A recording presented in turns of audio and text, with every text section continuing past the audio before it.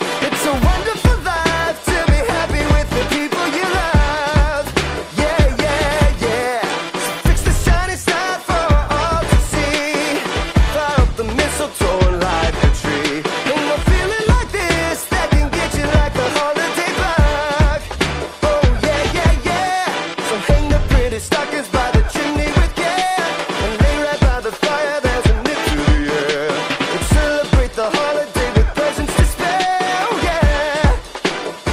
And now it feels like Christmas.